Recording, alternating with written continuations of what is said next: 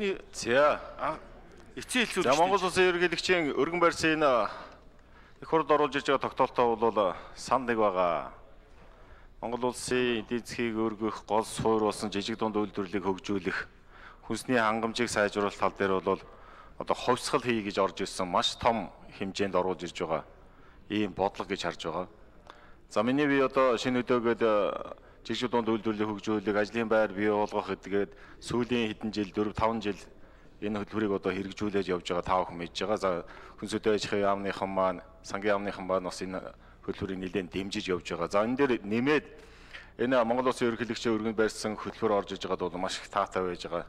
Ер нь бол хөдөөгийн ард түмэн маань энийг нэлээд өндөр хэмжээнд бол хүлээл хүлээ одоо хүлээ авч байгаа шүү гэдгийг бас хэлье гэдэг. За ажлын хэсэг дотор орж ажилласан нэг зүйл бас дутуу байгаад байна. Хэд хэдэн зүйлүүдийг засаж залруулсан. Нэгдүгээр одоо Монгол Улсын ерөнхийлөгч малын эрүүл мэндийг 5 жилийн хугацаанд ерөөсөө бүх өвчнөөсөө салъя гэсэн ийм том эрүүл мэндийн хувьсгал хийгсэ. Тэгээ энэ хувьсгалын хүрээнд ямар шүү зүйлүүд бас наад дэш нь туссан байгаа. За хүн зөвдөө аж ахуйн яамны хүрээнд бол ерөнхийдөө 3 жилийн хүрээнд энэ шүлгийн өвчнөөсөө салъя гэсэн бодлогыг гаргаж банк ороогоор оруулж ирээд одоо батлуулаад явсан байгаа. Энийг одоо Монгол Улсын ерөнхийлөгчийн хүрээнд нэг 5 жил болгоё гэдэг гэж байгаа. Энд дээр хүрээнд хийх ажлууд маань ямар ажлууд хийж байгаа вэ? За жилийн хавар намрын одоо вакцинжуулалтыг одоо бүх малдаа хийгээд 3 жилээс 5 жилийн хугацаанд бол эрүүл болъё гэсэн бодлого явж байгаа. Энэ дээр одоо хүнсэд аж ахуйн бодлогын маань яг ямар шиг асуудлууд орж иж байгаа вэ гэдгийг нэг тодруулаад хэлчихээрэй гэж. Хоёрдугаарт жижиг дунд үйлдвэрлэлийн асуудлууд ер нь дутуу орж ирсэн гэж харагдаад байгаа шүү. Жижиг дунд үйлдвэрлэлийн асуудлууд. За хоршоотой холбоотой асуудлууд сая хоршооны бид хуулиа батлаад хоршоогоор ажиллах ийм боломж олцыг нь бол нэмэгдүүлээд өгсөн.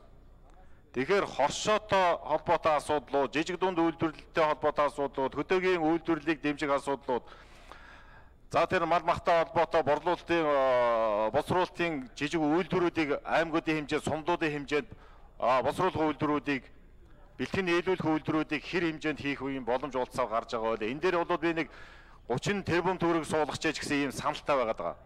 30 орчим тэрбум төгрөг. 30 орчим тэрбум төгрөг гэдэг бол нэг 100 саяар бодоход бол нэг 300-аад аж ахуйд очих ийм боломж олцсон харагдана. Наандаж нэг 30 тэрбум төгрөг эндээ заашгүй суух хэрэгтэй.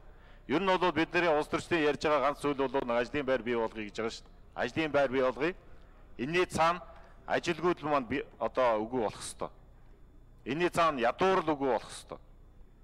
Тийм болохоор энэ ажлын байр бий болгохтой холбоотой жижиг дунд үйлдвэрлэлээ одоо дэмжихтэй холбоотой ийм зүйлүүд яаж суусан байна гэдэг тал дээр нэг тодруулга өгөөч ээ гэдэг. За баярлалаа. За эхлээд зочид танилцуулъя. Дараа нь хариулт ажлын хэсэг байнга хороо бэлдэж байгаараа. За ингээд улсын хурлын гишүүн Нямагийн их болд жигждийн бачаргал цэвэг дөржийн туваа нарын урилгаар улсын хурлын гишүүн Цэндийн Сүхбаатар нарын санхүү эдийн засгийн сургуулийг 1972 онд төгссөн ангийнхныхаа хамт улсын хурлын үйл ажиллагаа төрийн ордондоо танилцж байна. За та бүхэндээ эрүүл их хурдуудаанаас сайн сайхныг хүсье өрөөё. За одоо хэрэрлэх 83 загжуугийн мэд сайхан сайт хариул. Бат Эрдэнэ гишүүний асуултанд хариулъя.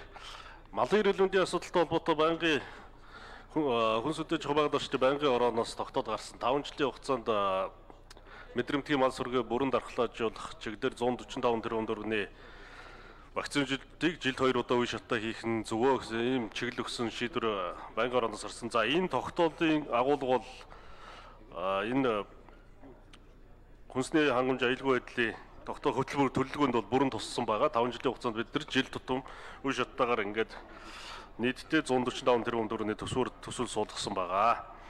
За хоршоолын хувьд бол өрхийн аж ахуй болон хоршоолыг дэмжих чиглэлээр нийтдээ нэг 8 тэрбум төгрөгийг энэ хөтөлбөрийн хүрээнд суусан. Гэхдээ энэ хөтөлбөрөөр бол нийт асуудлыг шийдэж байгаа гэдэг ойлголт биш. А манай жижиг дунд үйлдвэрлэлийн агентлаг байгаа. За агентлаг бол яг энэ хоршооллын чиглэлээр болон жижиг дунд үйлдвэрлэлийг дэмжих чиглэлээр үндсэн үйл ажиллагаа явуулах. За мөн өндөр одоо жижиг 5 жилийн хугацаанд баг хүүтэд зээл болох чиглэлээр үйл ажиллагаа үндсэн үйл ажиллагаа явуулж байгаа. Энэ жижиг дунд үйлдвэрлэлийн агентлагийн үйл ажиллагааны хүрээнд өмнө гарсан зээлийн иргэн төлөлтөр буюу төвлөрсөн их усврыг хоршоог дэмжих, цаашдаа жижиг дунд үйлдвэрлэлийг дэмжих чиглэлээр гаргаж хэрэгжүүлээ явах боломжтой.